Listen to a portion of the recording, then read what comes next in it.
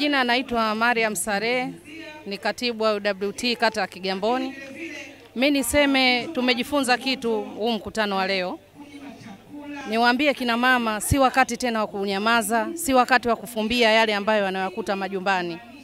Serikali inatuunga mkono kwa kiasi kikubwa, hasa nimpongeze rais wetu John Pombe Magufuli kwa kiasi kikubwa kutu, kutu, kutuweka kipaumbele kina mama katika kutokomeza hii wanyanyasaji kijinsia wanawake pamoja na watoto. Kwa hiyo mie rai yangu kwa kupitia mkutano huu wa leo, kina mama wajitoe, msaada upo, serikali yetu inatutizama kwa mikono miwili, kwa macho mawili. Kwa hiyo wasikae wakanyamaza kwa kuhofia kwamba mimi sitopata msaada. Hiyo hapana, serikali hii ya awamu ya tano inafanya kazi kwa, kwa inafanya kazi kwa muono mkubwa, kwa mtazamo mkubwa. Kwa hiyo wasiseme kwamba mimi nikienda kusema labda nitakuwa sitopata msaada. Hapana, tuna naibu waziri ambaye ni mbunge wetu wa jimbo la Kigamboni, naye pia analikemea hili kwa kiasi kikubwa. Kwa hiyo niseme kina mama wajitokeze, wasikae nyumbani wakaumia. Eh, ifike wakati tuseme basi eh, ukatili. Nashukuru. Juliana Didas Uh, mwenye, makamu mwenyekiti jukwaa la, wana- la kuwezesha wanawake kiuchumi kata ya Vijibweni na pia ni mama wa watoto watatu.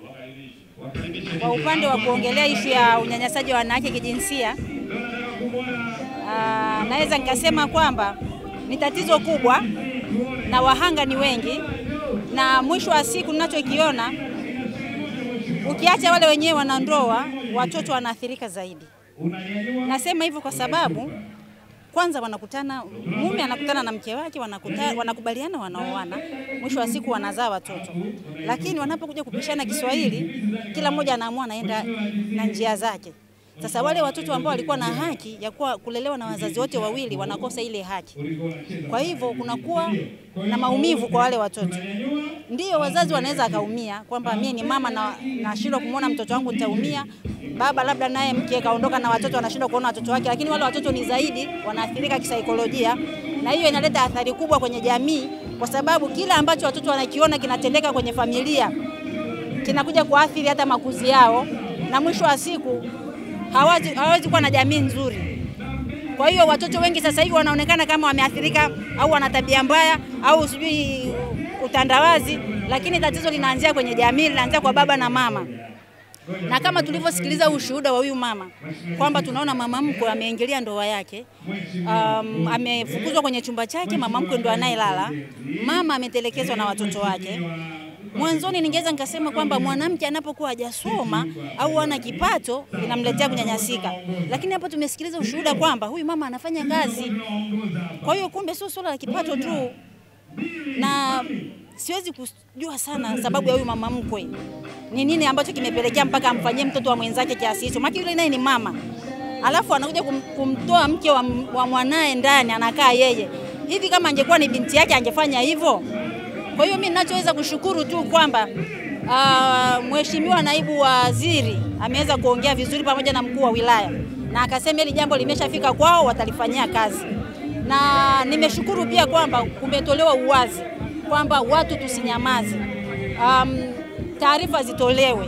Kwa hiyo hata mimi natoa wito kwamba wamama tupaze sauti pale ambapo tunaona mambo yaendi vizuri, tutoe taarifa, na naibu waziri amesema kwamba taarifa ambazo anataka zimfikie ni pale ambapo kuna ngazi husika za kuanzia.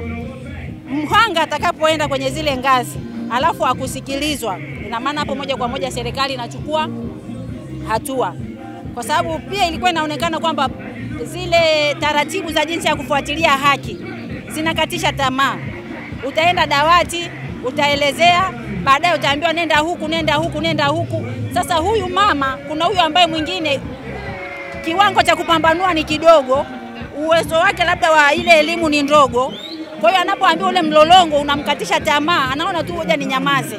Kwa hiyo wapo wengi ambao wanakosa haki zao kwa sababu ya ule mfumo ulivyowekwa, lakini kwa maelezo ya mheshimiwa waziri tunaona kwamba imerahisisha kwamba mimi nitapeleka taarifa yangu, nikiona nazungushwa na mahali pengine pa kusikilizwa. Kwa hiyo hilo naona litasaidia kwa upande wangu.